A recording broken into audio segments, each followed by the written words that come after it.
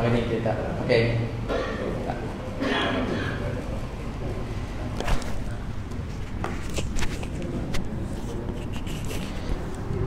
أعوذ بالله السميع العليم من الشيطان الرجيم بسم الله الرحمن الرحيم أحييكم بتحية الإسلام تحية سلامة ومباركة السلام عليكم ورحمة الله وبركاته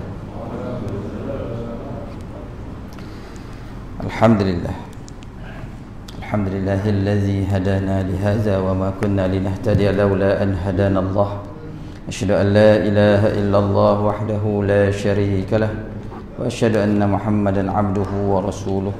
سبحانك لا علم لنا إلا ما علمتنا إنك أنت العليم الحكيم. رب اشرح لي صدري ويسر لي أمري واحلل عقدة من لساني يفقه قولي أما بعد. Yang dimuliakan Tuan Imam Majlis Syukur AJK Surau Nurus Salam. Tuan-tuan yang dirahmati Allah sekalian Alhamdulillah syukur kita pada Allah Subhanahu Wa Taala hari ini dapat kita bersama-sama lagi untuk menghadiri kuliah ataupun perbincangan mengenai ayat Al-Quran dan sabda Nabi sallallahu alaihi wasallam yang mana hari ini kita akan melihat satu nas ataupun dalil mengenai bagaimana Rasulullah sallallahu alaihi wasallam budi pekerti baginda dan juga gesaan baginda mengenai sahabat-sahabat radhiyallahu anhum ajma'in dan juga kaitannya dengan solat. Maka pada hari ini disebabkan kita tengok banyak pada ayat Al-Quran ini maka saya fokuskan pada hari ini sementara kita pun masih lagi ha, dalam Rabiul Anwar ataupun disebut Rabi uh, Rabiul Awal maka kita kenangkan baginda Nabi sallallahu alaihi wasallam melalui amalan kita sehari-hari bagaimana bentuk kasih sayang kita bagaimana bentuk amalan kita yang melambangkan kecintaan kita pada baginda Nabi sallallahu alaihi wasallam hari ini 21 Rabiul Awal maknanya kita masih lagi dalam bulan mengikati baginda Nabi sallallahu alaihi wasallam. Dari segi tarikh kelahirannya dan dari segi wafat baginda. Pun begitu ingatan kita selagi mana kita duk mengaji selagi mana kita duk buka kitab tak sunyi kita daripada memperkatakan susuk tubuh baginda Rasulullah sallallahu alaihi wasallam قال الله تعالى في كتابه العزيز بعد نعوذ بالله من الشيطان الرجيم. محمد رسول الله والذين معه أشداء على الكفار رحماء بينهم. تراهم ركعا سجدا يبتغون فضلا من الله ورضوانا simahum fi wujuhuhim min asari sujud. Sadaqallahu alazim ini adalah merupakan ayat di dalam surah al-fath yang terakhir. Ha, surah al-fath. Di sini Allah Subhanahu wa taala sebut mengenai baginda Rasulullah dan juga mereka yang berada di sekeliling baginda. Tujuannya apa? Tujuannya untuk kita tengok, kita teliti, kita muhasabah. Adakah kita ini termasuk dalam kumpulan mereka yang mencintai Rasulullah seperti mana sifat yang dinyatakan oleh Allah dalam ayat ini?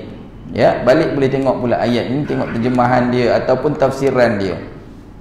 Allah Taala kata apa? Muhammadun Rasulullah. Muhammad itu adalah utusan Allah. Ha, Rasalah itu utusan, ya, pesuruh Allah. Wallazina ma'ahu dan mereka Ha, ini sifat-sifat orang yang yang ada di sekeliling Rasulullah. Wallazina ma'ahu asyidda'u 'alal kuffar. Mereka ini bertegas, bertegas ke atas orang kafir. Ya, bertegas di sini bukanlah maksudnya memusuhi. Ha, bukan maksudnya 100% memusuhi orang kafir. Kita kena faham dalam hubungan kita dalam konteks masyarakat dan negara kafir ini terbahagi kepada beberapa jenis. Ada yang namanya kafir harbi ada yang namanya kafir zimmi. Sewaktu aman hubungan kita bagaimana Sewaktu peperangan bagaimana hubungan kita dengan mereka Dari segi muamalat Dari segi uh, kemasyarakatan uh, ya Itu banyak konteks Dan kita tak boleh nak kata Kita dengan kafir ini sentiasa bermusuhan Tidak Bahkan kalau kita tengok sirah baginda Nabi sallallahu alaihi wasallam banyak akhlak, banyak SOP yang telah ditentukan oleh baginda Nabi dalam nak menentukan hubungan kita bersama dengan orang yang tidak sama tauhid dengan kita. Ha ya. Jadi asyidda'u 'alal kuffar ini tegas. Disebut oleh uh, Ibnu Abbas, Sayyidina Ibnu Abbas dalam kitab uh, Tafsir Qurtubi menyatakan bahawa asyidda'u alal kufar ini adalah diambil sempena daripada peristiwa Hudaibiyah uh, ahli Hudaibiyah ingat pada masa waktu Sayyidina Osman uh, masa peristiwa Rasulullah pergi ke Mekah dalam urusan untuk menunaikan umrah kali pertama di situ bila Rasulullah masuk uh, nak nak masuk ke Mekah maka dihalang dan Rasulullah berhenti di satu tempat yang dinamakan Hudaibiyah. Ha ya. Jadi bila sampai di situ Rasulullah uh, utuskan Saidina Uthman untuk nak merunding, berunding dengan musyrikin Mekah Quraisy di sana pada masa itu untuk membenarkan Rasulullah masuk ke Mekah menunaikan umrah. Akan tetapi di situ Sayyidina Osman ditahan dan sehingga timbul desan-desus mengatakan Sayyidina Osman ini dibunuh. Maka para sahabat pun marah. Masa itulah timbulnya asyidda'u 'alal kuffar. Ha, rasa rasa tegas, tegas. Sahabat-sahabat sampai dah masa tu walaupun dengan pakaian ihram akan tetapi mereka rasa macam nak berperang. Ha, ya, datangnya aman Rasulullah menyabarkan mereka sebab walaupun dalam keadaan ihram tapi kita dilarang ya uh, walaupun dalam keadaan ihram tak kita sebenarnya dilarang untuk menumpahkan darah tapi untuk dalam keadaan tertentu dalam darurat dia lain cerita dia. Ha ya. Apabila kita diancam apabila kita diugut ataupun dalam keadaan terpaksa. Ha ya itu lain cerita dia. Lalu sahabat-sahabat dalam peristiwa Hudaibiyah mereka bersedia untuk berperang dengan kafir musyrikin Mekah pada masa itu.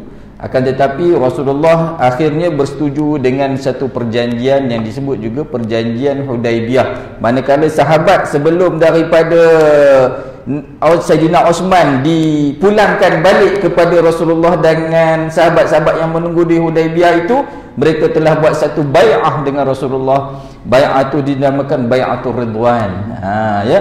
Maka mereka berpakat kata kalau jadi nak perang kita perang juga. Ha, bersetia tak setia bersama Rasulullah. Nah ya. Okey. Mana asyidda'u alal kuffar? Masa perang kita perang. Masa aman masa kekuatan kita melebihi mereka kita ikat perjanjian. Ha, ya sama ada kita lemah ataupun kita Islam ni dalam keadaan yang memerlukan sokongan ataupun Islam ini kuat dia ada bentuk perjanjian dia. Ha, ya. Dan kemudian bagaimana dengan sesama Islam? Ha, ruhama ubainahum berkasih sayang di antara mereka. Ha, ini sifat yang ada bukan saja di perkalangan sahabat tapi sebenarnya patut ada bersama-sama dengan kita berkasih sayang. Allah alaihi wasallam turun ke muka di, diutuskan oleh Allah ke muka bumi ini untuk menyebarkan mesej kasih dan sayang. Ha, ya. Rasulullah itu disebut juga sebagai rahmatan lil alamin satu rahmat yang Allah Ta'ala turunkan kepada alam ini. Dan kita sedang menikmati rahmat itu dengan persaudaraan sesama kita. Ini kalaulah bukan kerana baginda Nabi sallallahu alaihi wasallam yang membawa mesej kasih sayang nescaya kita ini masih bermusuh-musuhan. Ha, ya berperang-perang. Ha, ya. Jadi di situ tuan-tuan yang dirahmati Allah sekalian ruhama ubainahum itu penting. Ya. Tarahum ruk'an sujada yabtaghuna fadlan min Allah. ha, dilihat mereka itu. Hum itu dhamir kembali kepada sahabat-sahabat. Ha, ruhama ubainahum tadi sahabat. Ya.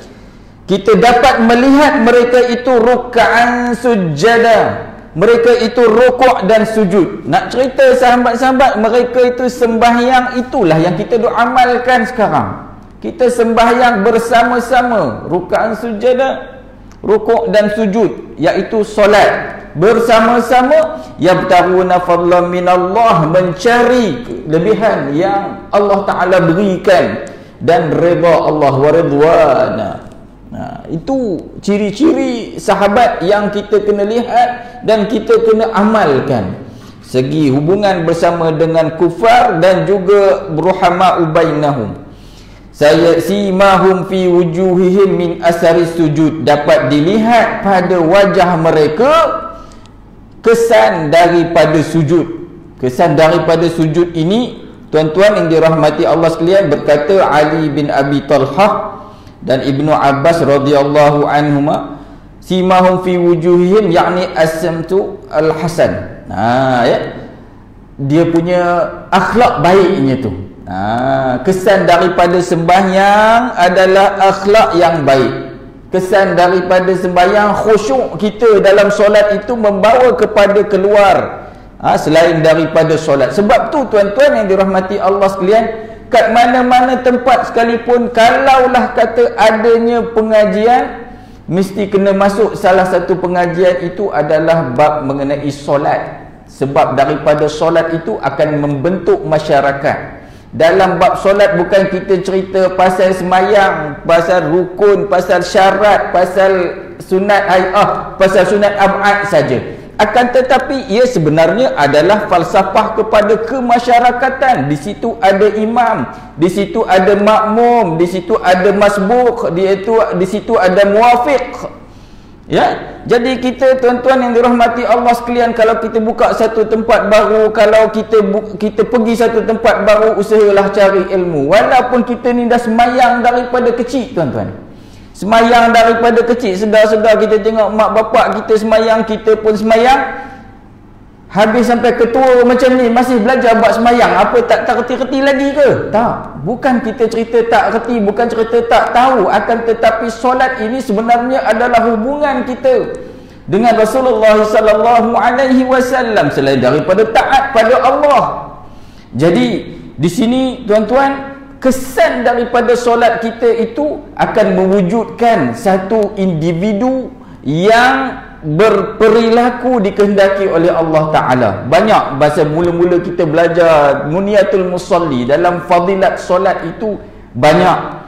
Selain daripada pengampunan daripada Allah Ta'ala kita juga akan dapat ketenangan kita juga akan dapat kebahagiaan dalam jiwa meskipun kita ini tidak dilihat sebagai orang yang kaya, orang yang senang. Tapi dalam jiwa kita itu ketenangan hasil daripada solat kita. Lalu dalam konteks ini hari ini kita nak tengok satu daripada sahabat Rasulullah sallallahu alaihi wasallam yang begitu cintakan nabi. Hasil daripada didikan tarbiyah Rasulullah sallallahu alaihi wasallam kita nak lihat satu sosok sahabat yang bernama Sa'ad Ibnu Muaz. Sa'ad Ibnu Muaz. Kalau dibaca teruslah tuan-tuan. Sa'ad Ibnu Muaz ini kita dah tengok banyak para sahabat yang selalu diceritakan mengenai kibarus sahabah. Daripada khalifahnya daripada individu-individu yang berjuang. Sayyidina Ali kita dah tengok. Sa'ad Ibn Waqas Abdul Rahman bin Auf. Hari ini kita tengok hasil didikan Rasulullah pada seorang sahabat yang bernama Sa'ad Ibn Mu'az Sa'ad Ibn Mu'az ini tuan-tuan yang dirahmati Allah sekalian Hebat dia. Sebelum kita cerita dia punya kisah dia Bagaimana cinta dia kepada Rasulullah Kita tengok kehebatan dia dulu. Sa'ad Ibn Mu'az ini tuan-tuan Disebut oleh baginda Nabi SAW Antara sahabat yang bila ia mati Syahid ya? Apabila dia mati Maka bergegarlah arash Oh, selama ni tuan-tuan dengar ha, bercerai bergegar aras tak? Ada benda lain lagi yang menyebabkan aras itu bergegar. bukan gempa bumi tidak itu nak menunjukkan hebatnya orang itu ha ya hebatnya orang itu kalau orang bercerai yang disebut sebagai bergegar arash apabila seorang isteri minta cerai itu nak menunjukkan bahawa Allah Ta'ala tak suka pada orang yang tanpa sebab yang patut untuk saja-saja nak minta bercerai ha, itu ni. Semua ni adalah merupakan ketua keluarga di hadapan saya. Ha, ya. Kalau tak kalaulah katakan ha, isteri tanpa sebab yang kukuh tanpa sebab yang dibenarkan oleh hukum syarak maka perceraian adalah merupakan jalan terakhir. Anak kita, saudara kita. Tapi kita tak masuk dalam bab tu. Tapi nak cerita aras itu bergegar disebabkan kematian Sa'ad ibn Mu'az radhiyallahu anhu jadi kemudian bukan setakat bergegar aras Nabi kata lagi 70 ribu malaikat turun untuk menyambut roh Sayyidina Mu'az uh, Sa'ad bin Mu'az ni. 70 ribu ramai. Ha, kita 70 ribu orang pun kita dah bangga ini 70 ribu malaikat. 70 orang tu kira banyak dah kita. Orang biasa macam saya ni 70 orang dah ramai ha, 70 ribu malaikat dan langit terbuka untuk menerima roh dia saat syahidnya Sayyidina Sa'ad bin Mu'az ok kita tengok apakah kehebatan sahabat ini Tuan-tuan yang dirahmati Allah sekalian, Sa'ad bin Mu'az ini adalah merupakan seorang VIP lah. Orang yang sangat penting di Madinah sebelum daripada Rasulullah sampai. Sebelum berlakunya peristiwa hijrah, Sa'ad bin Mu'az ni antara pemuka yang muda. Pemuka tu pembesar lah. Ha, ya? Kalau kita sebut dia ahli Dewan Undangan Negeri ke, ha, mungkin. Ha, itu pangkat dia di ya, di Madinah dan dia adalah antara ketua daripada suku Aus Aus ni dia ada di Madinah dia ada dua Aus dan Khazraj Aus ini antara ketua dia adalah Sa'ad ibn Mu'az dan kemudian dia juga menjadi ketua dalam usia yang muda. Umur dia 30 ha, ya. Masa 30 tu dia dah jadi ketua dah sebab dia masuk Islam sewaktu umur dia 30 tahun dan dia meninggal umur dia 36 tahun. Tengok dalam tempoh 6 tahun tu bagaimana didikan Rasulullah bagaimana dibentuk hati dia sehingga dia menjadi seorang yang begitu terkenal sampai ke langit jadi saat Ibn Mu'az ini sebelum daripada dia masuk Islam dia adalah merupakan rakan baik. Dia ada hubungan persahabatan dengan orang di Mekah. Orang di Mekah antara menjadi hubungan dia adalah namanya Umayyah bin Khalaf Umayyah bin Khalaf ini adalah merupakan pembesar juga. Orang VIP Mekah juga. Dia sebaris duduk dengan Abu Jahal. Biasanya Abu Jahal ni dia ketua. Ha, Umayyah bin Khalaf ni ha, dia merupakan ahli parlimen Darun Nadwah Darun Nadwah ini tuan-tuan ha, kalau kita pergi Mekah dia ada satu pintu nak masuk Masjidil Haram tu ha, dia sebut uh, Darun Nadwah. Ha, jadi situ adalah merupakan tapak parlimen Quraisy. Dan yang disebut sebagai Umayyah bin Khalaf ini adalah merupakan salah seorang daripada ahlinya. Okey baik. Dalam masa berapatnya mereka rapatnya Sa'ad ibnu Mu'az dengan Umayyah bin Khalaf ini sekira-kira mereka ni kalaulah kata Sa'ad jaga ke jalan makan angin ke apa dia tak tidur kat hotel dia tidur dekat rumah Umayyah. Manakala Umayyah kalau pergi lalu Madinah ha, orang Quraisy ni dia berniaga tuan-tuan. Ya kalau dia singgah nak pergi jauh nak pergi mana-mana lalu Madinah dia mesti tidur dekat rumah Sa'ad ibn Mu'az. Ha, jadi betapa rapatnya mereka itu. Jadi kalau tuan-tuan nak tahu siapa Umayyah bin Ka'ab ini dia adalah antara orang yang paling lantang menentang Rasulullah sallallahu alaihi wasallam dia adalah merupakan orang yang menyiksa Bilal bin Rabah. Orang yang mengata Rasulullah di hadapan dan juga orang yang mengutuk Rasulullah di belakang sampai ada ahli tafsir menyatakan surah Al-Humazah itu diturunkan atas dia. Ha, wailul likulli humazatil lumazah. Allah melaknat memaki ha, ya wail wail lah neraka wail lah bagi yang pengata dan pencela. Pengata ni depan-depan. Ya dia marah Rasulullah dia memaki Rasulullah depan-depan kat belakang pun dia, dia cerita lagi. Ha, jadi itu disebut sebagian daripada ahli tafsir ke atas Umayyah bin Ka'ab. Dia ni sahabat dengan Sa'ad bin Mu'az yang kita duk cerita ni. Okey. Satu hari dah masuk Islam dah ni. Sa'ad bin Ma'az dia dah masuk Islam dan dia pergi atas urusan singgah dekat rumah Umayyah bin Ka'ab. Ha, walaupun dah Islam tapi dia masih lagi. Tanda-tanda dia Islam adalah selepas daripada hijrah ha, Aus dia sebagai ketua suku kaum Aus membuat bai'ah dengan Rasulullah untuk nak jaga Rasulullah Baik, berita itu diketahui oleh orang Mekah. Tapi Umayyah bin Ka'ab meskipun memerangi Rasulullah tapi dengan sifat persahabatan mereka yang begitu baik ini, dia pun tak apa, datang duduk rumah aku, berdiri perlindungan. Ha, ya.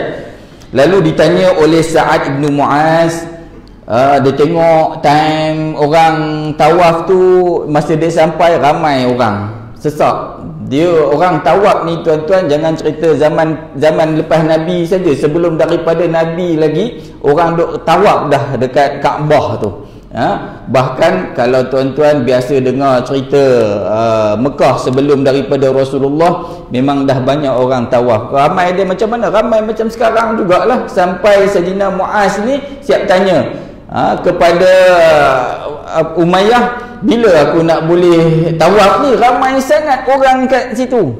Lalu Umayyah kata tengah hari panas orang kurang lah sikit. Okey, maka dia pun pergi time tengah hari. Bersama-sama dengan dia adalah Umayyah pun ikut sekali nak pergi tawaf lah. Ya? Masa tawaf dekat Kaabah itu tiba-tiba Abu Jahal lalu dekat situ. Abu Jahal dia ni dah aim dah ni Oh, ni orang Madinah ni dia memberi perlindungan kepada Muhammad dan pengikut dia. Lalu apa dia buat? Dia tahan. Orang tengah tawab dia tahan. Wahai Sa'ad. Aku tak sangka hang berani datang. Ini terjemahan dia lah tuan-tuan ya. Dia tak cakap macam ni tapi terjemahan lebih kurang macam ni. Aku tak tahu hang berani nak datang sini dalam keadaan hang tahu bahawa kau memberi perlindungan kepada Muhammad dan pengikut dia sedangkan kami yang yang memerangi dia. Ha? Dan juga kami juga takkan membiarkan sama ada Muhammad dan pengikut dia ataupun orang yang menyokongnya hidup dengan aman di sini. Dan kau tak takut ke kau dah tak boleh balik lepas ni? Ha, dia cakap dengan ni. Pada masa itu posisi Abu Jahal adalah penguasa. Kira raja lah nak kata. Dia tak pakai sistem raja pada masa tu. Dia kira penguasa. Ha, ya. Penghulu lah kalau kita kata boleh kan. Okey. Lalu bila dikata uh, ditahan saat pada masa itu saat dia seorang aja dia tak ada penyokong dia walaupun dia ketua pada masa itu ketua kaum Aus tapi bila pergi buat pergi rumah sahabat dia dia pergi seorang-seorang dia bila dia kata ditahan macam tu apa kata Sa'ad ibn Mu'az? Ha, ni sahabat yang besar di sisi Rasulullah sallallahu alaihi wasallam. Dia kata dia angkat suara dia. Ni tengah-tengah orang ramai ni. Di depan ketua orang kat situ. Kalau kita kan ha, kalau kita katalah ha, di tempat kita ni kita ada penghulu orang tengah ramai kita angkat suara depan penghulu tu. Ha, ya. Lalu dia kata wahai Abu Jahal kau berani kata macam ni dekat aku? Dalam keadaan aku ni kau tak tahu. Kalau engkau nak berdagang engkau mesti lalu dekat Madinah. Dan di Madinah apa jadi kalau kata engkau apa-apakan aku hari ni? Kau takkan lepas Madinah. Oh dengar tu dia angkat suara. Dengar dia Abu Jahal Abu Jahal tu diam. Tak berani dia tuan-tuan ha, tak berani dia. Rupanya orang yang ketegak orang yang jenis ha, suka ugut-ugut orang ni tuan-tuan yang dirahmati Allah sekalian nak lawan dia kena angkat suara juga. Tinggal berani ke tidak lagi. Ya? tapi saat ni berani. Tengah orang ramai tepi Kaabah dia boleh angkat suara. Ha, saya ni kira lembut lagi lah tapi saat dia cakap lagi keras sampai Umayyah sahabat baik dia ni ada sebelah dia kata eh janganlah angkat suara. Ni tu ni ketua tu ketua Mekah ni kau angkat suara. Dia kata Umayyah kata kau jangan kata lebih-lebih dengan aku. Walaupun engkau sahabat aku aku pernah diberitahu oleh Rasulullah bahawa engkau sendiri pun akan mati di tangan ha, orang Islam. Tu dia. Dia bagi tahu dekat Umayyah Umayyah naik terkejut Umayyah pun takut. Ha, Umayyah tahu sebab orang Mekah tahu apa yang Rasulullah bagi tahu biasanya jadi. Ha, ya? jadi takutlah Umayyah bahawa dia pun akan mati juga dan benar. Tuan-tuan, habis cerita dekat situ benar apa yang dikatakan oleh Rasulullah. Cuma uh, saat pada masa itu bila ditanya oleh Umayyah kalau betul kau cakap aku mati kat mana aku akan mati? Umayyah kata uh, saat kata aku tak ingat kat mana pula. Ha? tak tahu bila dan tempatnya di mana. Tapi engkau sendiri pun akan mati juga. Ah haru. Ah, ya? jadi itu apa yang dia tahu dan memang dalam perang badar lagi telah mati Umayyah bin Ka'ab.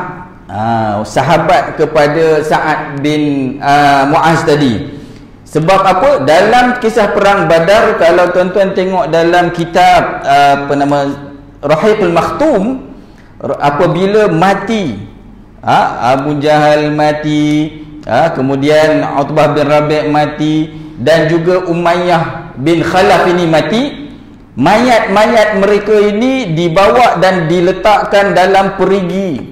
Ha, perigi di satu perigi lah. Ha, dalam perigi badar kita sebut ya bila diangkat mayat takkan nak tinggal. Kalau tinggal nanti busuk dan kemudian dia akan membawa pada penyakit. Lalu Rasulullah perintahkan supaya semua mayat ini dimasukkan ke dalam perigi.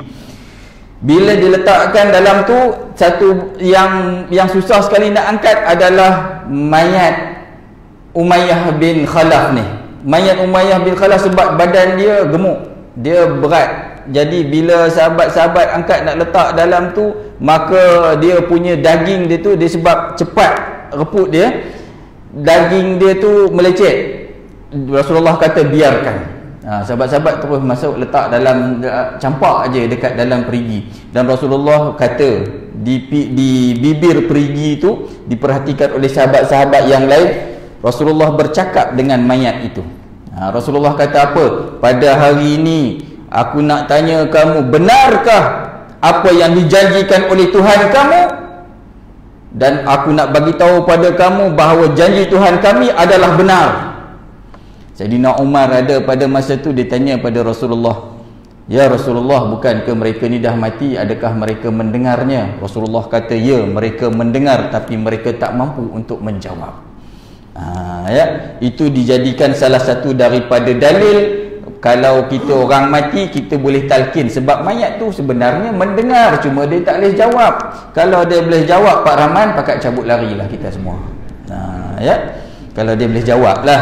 Ha, itu saja. Kita nak cakap masa talkin tu nak cerita pada orang hidup. Orang hidup supaya dia tahu apakah soalan bocor semasa dalam kubur nanti.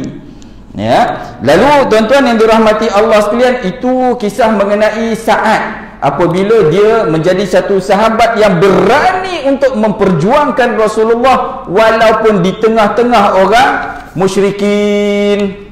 Ah.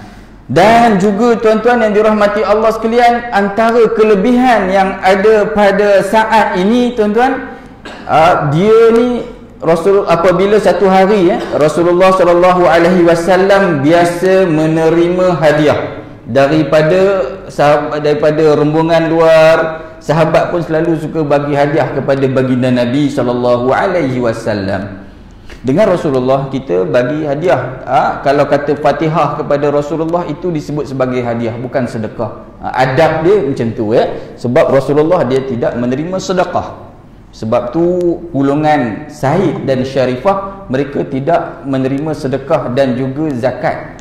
Ha, sebab di sebab Rasulullah sendiri tak menerima ha, sedekah. Ya.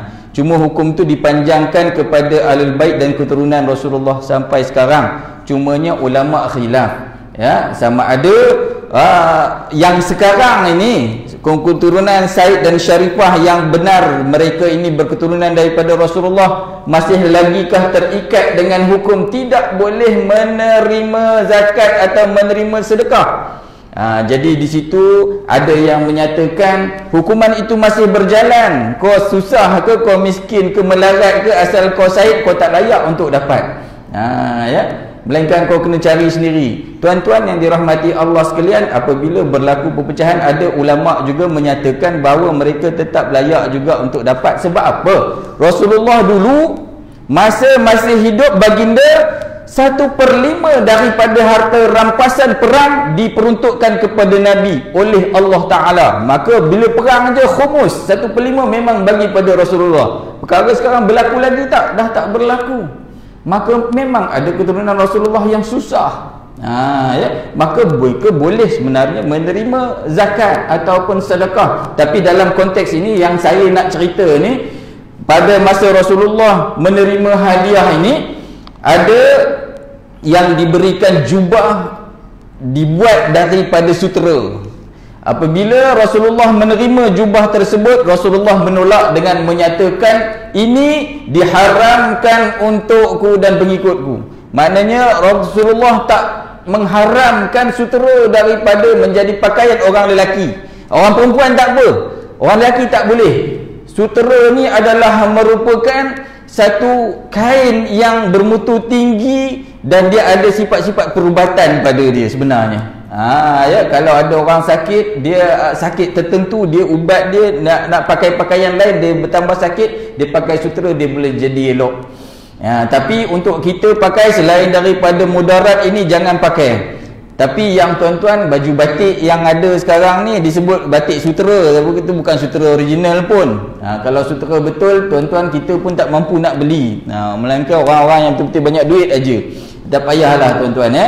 Jadi bila ditolak oleh baginda Rasulullah sallallahu alaihi wasallam maka sahabat pun berkata, "Oi, baju bat, kain batik ni, ha, jubah daripada batik ini bernilai tinggi.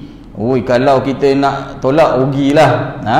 Lalu Rasulullah terdengar lalu Rasulullah kata, "Jubah sutera ini kalau nak dibandingkan pada Sa'ad bin Muaz, eh, sahabat dia, dia punya sapu tangan mandil mandil ni sapu tangan tuan-tuan ia adalah lebih mulia daripada jubah sutera ni kalau dekat syurga sapu tangan uh, nilai sapu tangan Sa'ad bin Mu'az ni maknanya dia ni betapa hebat orang dia ha? sampai sapu tangan dia lebih mulia daripada kain sutera ni.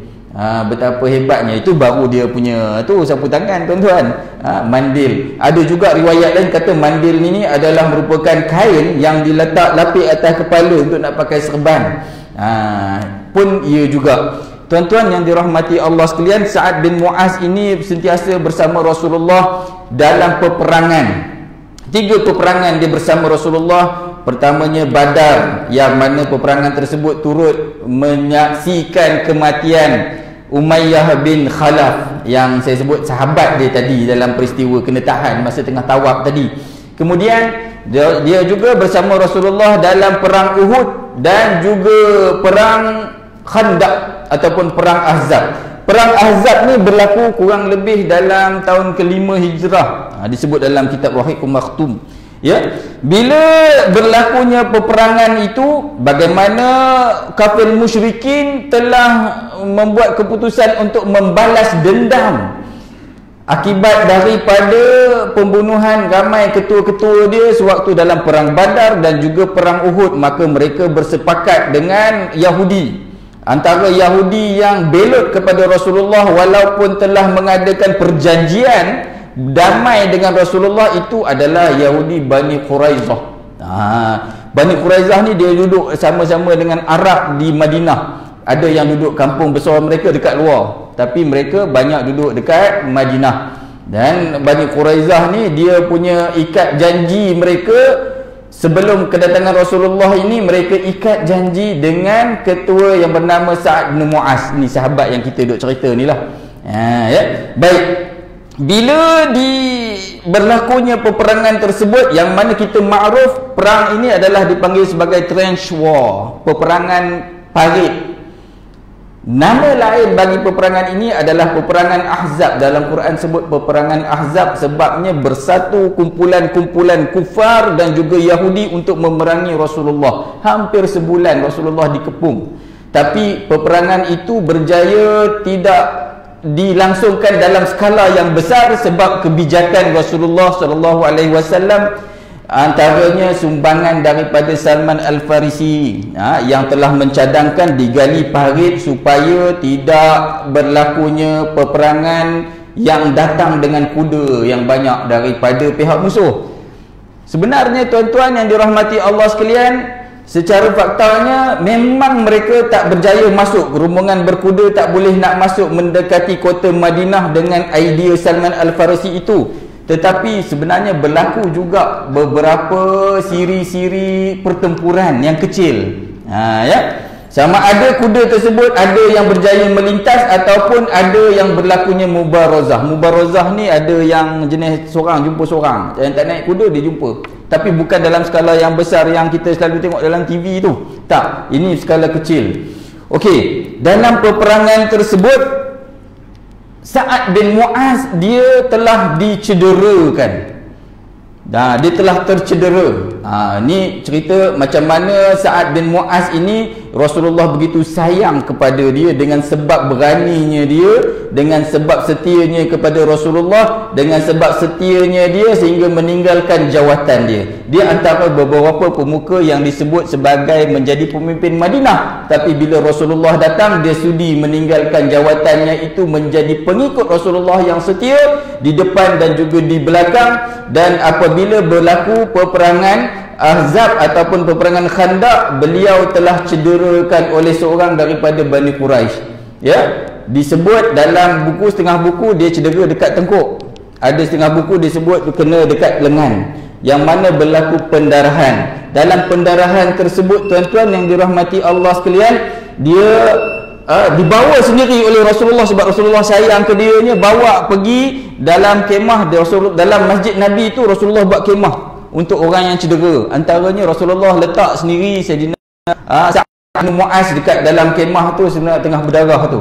Dan kemudian ha, Rasulullah pergi sambung balik peperangan khandak tersebut. Ha, dalam tu secara fakta sahabat-sahabat yang ada ha, dalam peperangan itu dan penduduk Madinah menderita. Sebab walaupun mereka telah bersedia dengan makanan mereka telah bersedia dengan beberapa persiapan untuk dikepung dan juga atas darurat pada masa itu maka mereka berjaya bertahan tapi mentalnya mereka rasa tertekan juga Baik. Lalu apabila Muaz ini bercedera, maka dia minta berdoa pada Allah Subhanahu Wa Taala dengan satu doa yang mana ha, kalau kita dengar meremang bunyi dia. Okey, dia kata apa? Dia melihat ke langit. Ini adalah merupakan hadis yang diriwayatkan ha, dalam kitab hadis menyatakan bila Sayyidina Muaz ni dia tengok ke langit dia minta ya Allah ya Tuhanku sekiranya ha, jangan kau panjangkan nyawa aku ya Allah sekiranya uh, sampai peperangan ini berakhir. Ha ya. Maknanya dia minta ya secara ringkas dia minta supaya Allah taala bagi umur dia sampai kira habis perang dia nak mati matilah ha ya. Sebab apa? Dia kata aku tidak ingin melihat kekasihku itu disakiti oleh orang-orang musyrikin dan orang yang menyalahi perjanjian. Maknanya dia marah pada orang yang ingkar perjanjian dengan Rasulullah iaitu Bani Quraizah tadilah. Sebab dia kenal dengan Bani Quraizah Yahudi ni. Sebab dulu mereka ada berjanji dengan dia. Tapi sekarang mereka ini menyakiti Rasulullah dengan belot sama-sama bersama dengan musyrikin nak perang Rasulullah ni kata ya Allah panjangkan umur aku sekira-kira aku boleh menjaga Nabi daripada disekiti oleh orang-orang yang ada ni yang aku kenal ni. Ha, ya. Lalu dalam keadaan sakit itu Allah Taala telah memberi memakbulkan doa Sa'ad ibnu Mu'az sekira-kira bila dia ada pada masa itu sampailah peperangan itu berakhir. Macam mana peperangan Khandaq itu berakhir apabila Allah hantarkan ribut, Allah Taala hantarkan ha, kucar kacir di hati orang musyrikin pada masa itu. Ha, Allah Taala pecah belahkan hubungan kesatuan di dalam tentera ahzab tentera gabungan ini ha, ya bila mereka balik dalam keadaan gagal tentera gabungan ini Rasulullah kembali kepada uh, Muaz. Dan Rasulullah memberi dia satu tugas terakhir. Ha, walaupun dalam keadaan cedera. Tapi cedera dia itu sebenarnya boleh sembuh tuan-tuan. Ya? Tak teruk sangat tapi darah keluar. Tapi darah keluar dia tu kira-kira mengalir dalam masjid tu sampai ke kemah orang sakit yang lain. Ha, ya, banyaknya darah yang keluar. Tapi sebenarnya boleh sembuh. Tuan-tuan yang dirahmati Allah sekalian Rasulullah bagi satu tugas terakhir kepada Sa'ad bin Mu'az untuk mengadili satu kaum yang telah engkar perjanjian iaitu Bani uh, Yahudi Bani Quraizah. Bani Quraizah ni tuan-tuan mereka ni ramai duduk. Sama lama dah dengan orang Madinah tapi disebabkan oleh mereka termakan racun yang dihasadkan oleh orang kafir musyrikin mereka menyalahi perjanjian mereka bergabung dan mereka mengancam untuk menyerang Rasulullah daripada belah selatan Madinah. Nah tu orang uh, Arab Madinah pun ada yang kacau juga jiwa mereka.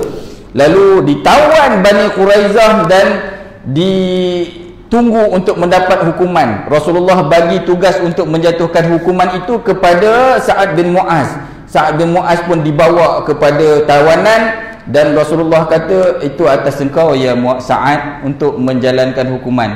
Lalu Sa'ad bin Mu'az ni rupanya Allah Ta'ala bagi nyawa pada dia sebab nak melaksanakan apa yang didoakan dia nak balas dendam ya. Selain daripada doa nama dia ah, dipanjangkan umurnya untuk berperang sama-sama dengan Rasulullah dan juga dia kata dia tak rela Rasulullah itu disakiti apabila Bani Quraizah menyakiti Rasulullah dengan cara menjalan me, me, me, me, orang kata panggil apa? Mengingkari perjanjian tersebut maka mereka menyakiti Rasulullah maka Sa'ad bin Mu'az diberi peluang oleh Rasulullah untuk menjalankan pengadilan ke atas mereka Lalu Sayyidina Muaz ni, Sa'ad bin Muaz ni, dia kata aku akan menghukum mereka berdasarkan daripada ajaran kitab Taurat. Dia pun mengaji juga, tapi kitab Taurat lah dulu. Ha?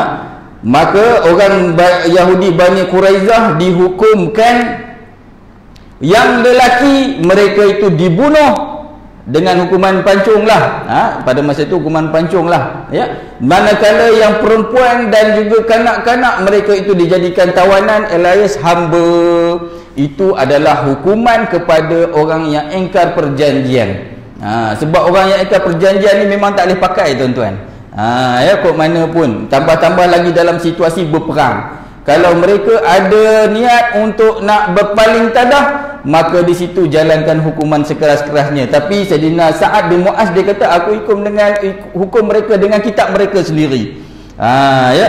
Lalu Rasulullah kata apa tuan-tuan? Rasulullah kata apa yang engkau putuskan ini wahai Sa'ad ini adalah merupakan juga sama dengan yang Allah Ta'ala putuskan. Hebat tak? hebat seorang sahabat yang nama Sa'ad bin Mu'az apabila ha, dia jalankan hukuman tak lama lepas daripada tu Sayyidina Muaz pun meninggal dunia.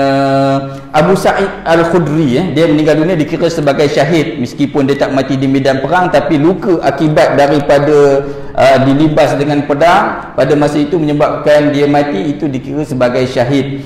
Uh, Abu Sa'id Al-Khudri tuan-tuan yang dirahmati Allah sekalian bila uh, menggali kubur untuk nak simpan jenazah saat ni di tiap kali aku cangkul tiap kali lapisan pasir itu aku angkat keluar aku akan terbau bau misk. Misk misk ni kata orang bukan sturi lah eh? bau yang wangi. Tu bau gali kubur. Sampailah tempat nak letak jenazah dia itu aku masih terbau wangi yang amat sangat.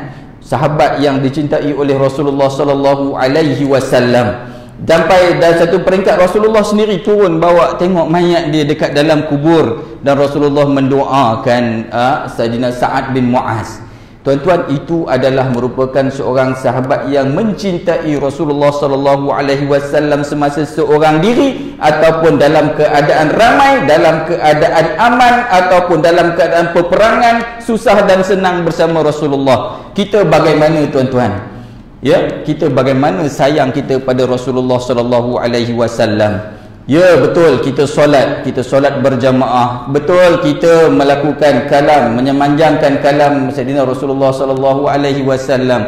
Tapi sayang kita bagaimana dengan keadaan sekarang ni? Ya tuan-tuan yang dirahmati Allah sekalian Saya nak cuba kaitkan Bagaimana perasaan kita Sayang kita pada baginda Rasulullah Apabila berlaku uh, Beberapa isu Yang mana kita pun kadang-kadang Jadi celaru ataupun keliru Saya merujuk kepada kes di mana Apabila Ustaz Ada seorang ustaz lah saya sebut eh. ha, Apabila seorang ustaz Dia mempromosikan topi yang ada lambang capal Rasulullah. Ha ya.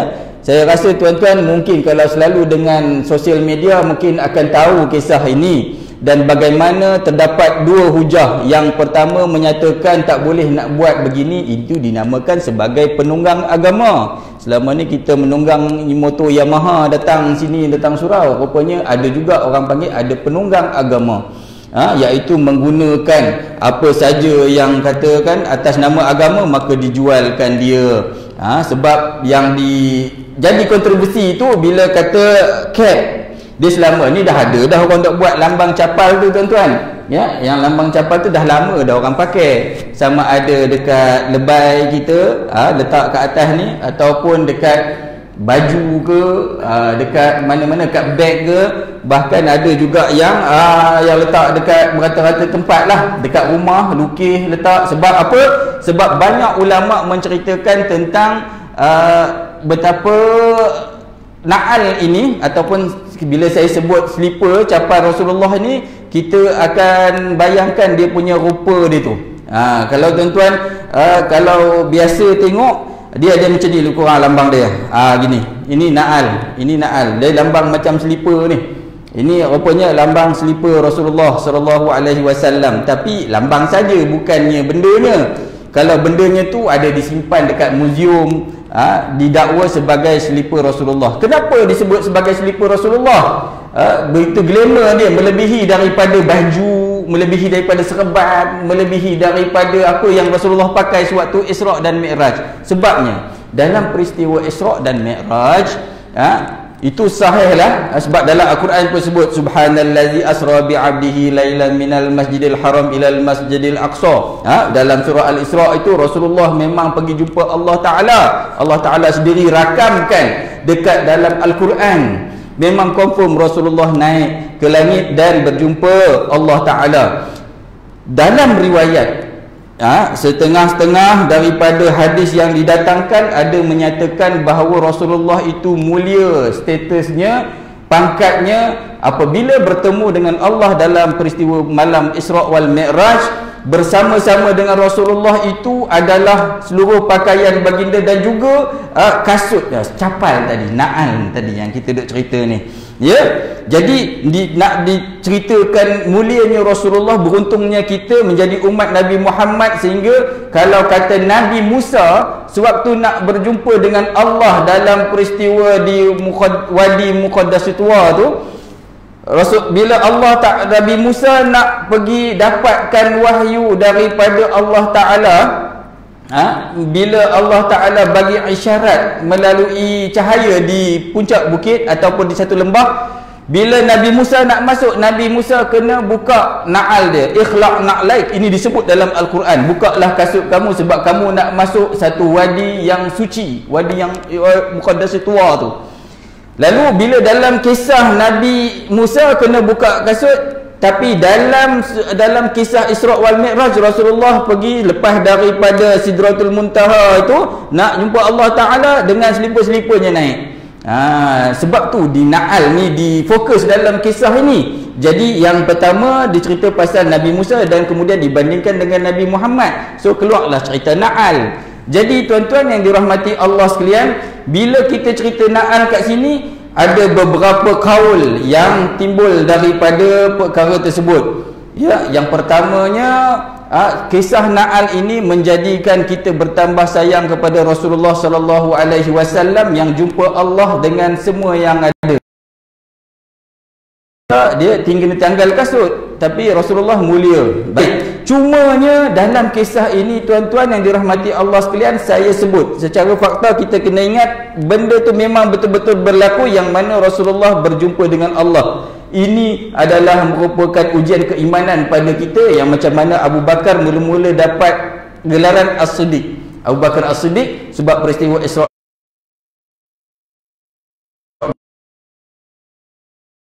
iman bahawa Isra Miraj itu betul-betul berlaku. Cuma perkara yang menjadi perbahasan di antara ulama mengenai na'al ini.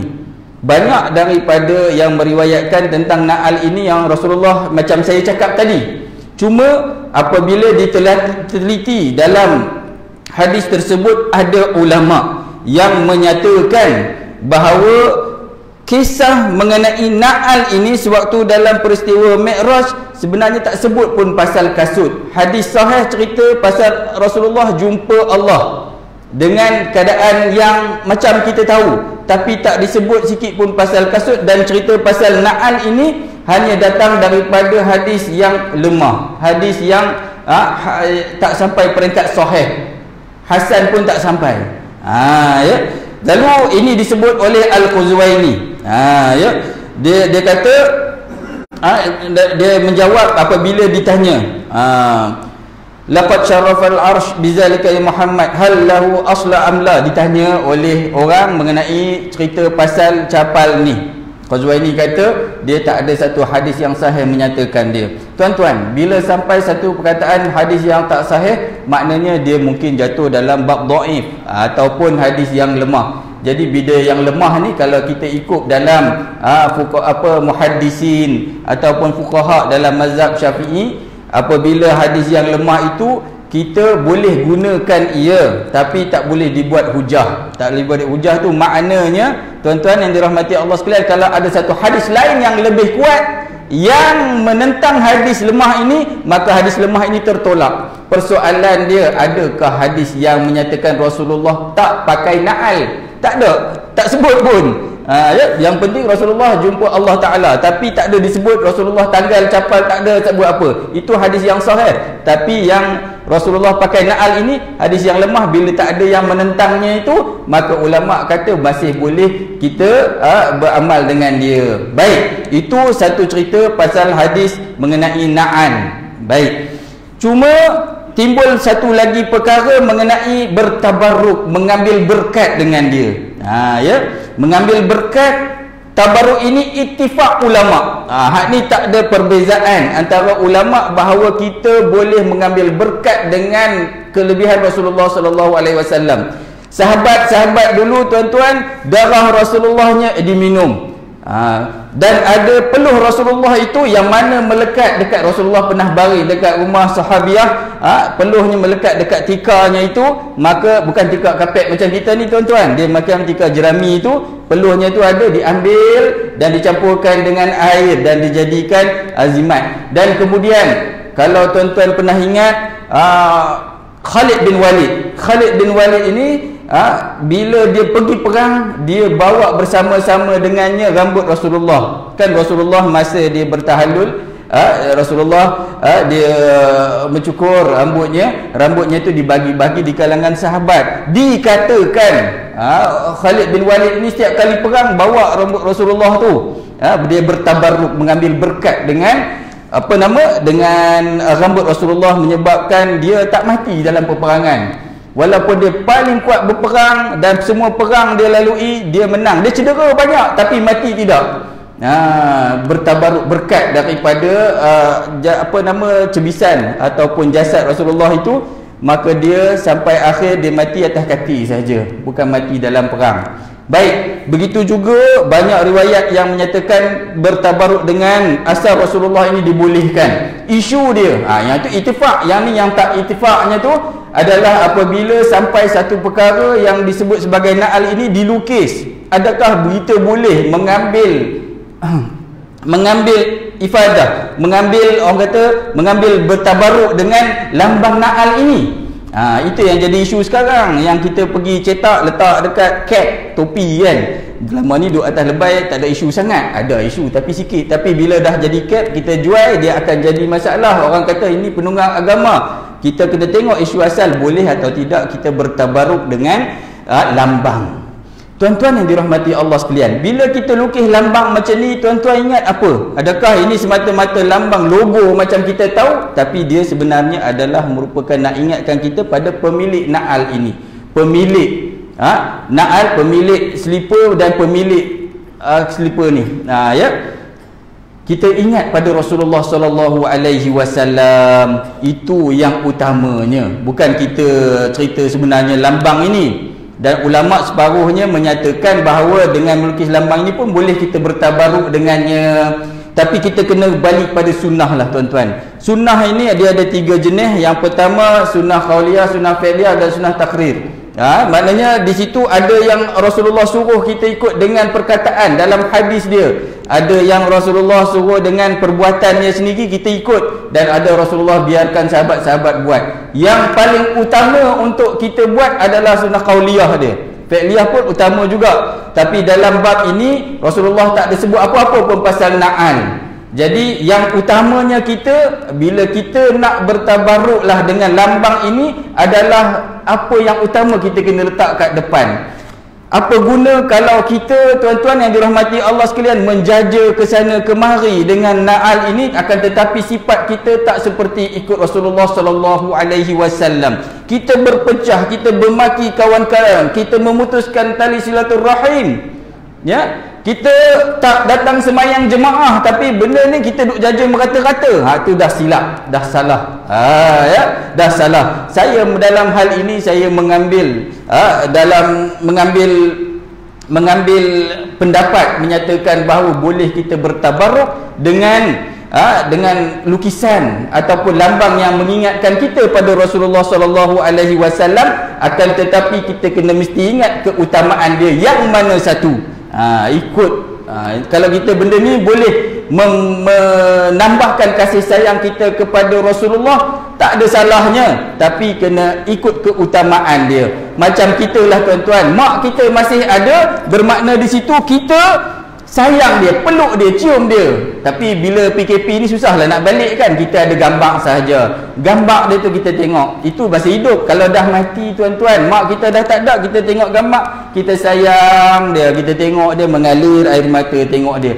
Itu gambaran tuan-tuan gambaran tengok gambar tengok bekas-bekas tengok rumah dia tengok katil dia tengok kursi dia kita teringat mak kita. Jadi bertambah seribu kasih sayang kita pada mak. Kalau lah mak ada begitu juga dengan apa yang kita cerita pasal Naal ini. Bekas Naal walaupun dia bukan slipper yang sebenar tapi dia mengingatkan kita pada Rasulullah. Bertambah kasih bertambah sayang. Jadi saya setuju kalau kita katakan ini adalah merupakan ekspresi kasih sayang kita pada Rasulullah sallallahu alaihi wasallam. Dah dah sadu gaduh dah. Ha, ya, maknanya ada dua pendapat. Kita nak ikut hak mana pun boleh tapi kena ingat keutamaan dia. Rasulullah kata hak berjenis pegang macam ni Jangan duk gaduh, jangan berpecah. Kita ingat ayat yang mula-mula saya bacakan tadi, ruhama ubainahum. Tengok balik ayat 20, ayat 29 dari 39 dalam surah Al-Fath. InsyaAllah sampai di sini saja. Kita dah masuk ke tujuh hujan pun lebat. Allahumma sahiban nafi'a. Sama-samalah kita minta supaya Allah subhanahu wa ta'ala untuk menyatukan hati-hati kita di bawah liwat di bawah bendera Rasulullah sallallahu alaihi wasallam.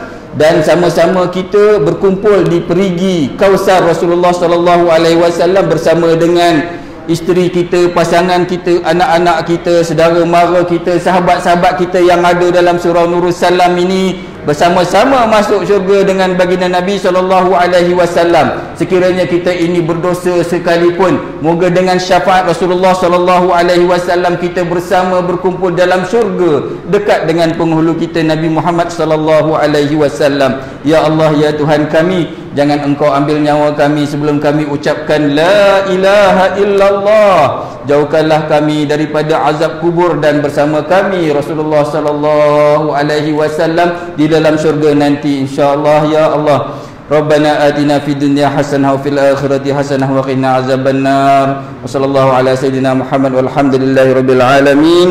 Subhanakallahumma bihamdika nashhadu an la ilaha illa anta wa nastaghfiruka wa atubu ilaik. Wabillahi taufiq wal hidayah. Wassalamualaikum warahmatullahi wabarakatuh.